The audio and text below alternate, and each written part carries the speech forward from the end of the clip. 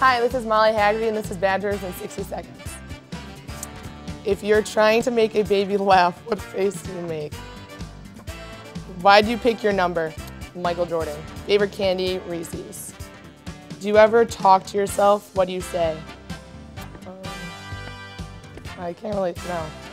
Favorite place on campus? Um, probably the terrace. Um, people say you look like my sister Maddie. Other than your own sport, what sport are you best at? Uh, I'm actually good at swimming. Last dream you remember?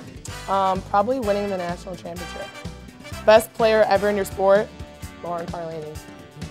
Funniest person you know? Probably Lauren Gillis. If you could have any pet, what would you pick? Um, I would probably say turtle. What emoji do you use the most? Um, probably the one that goes side face and then peace sign.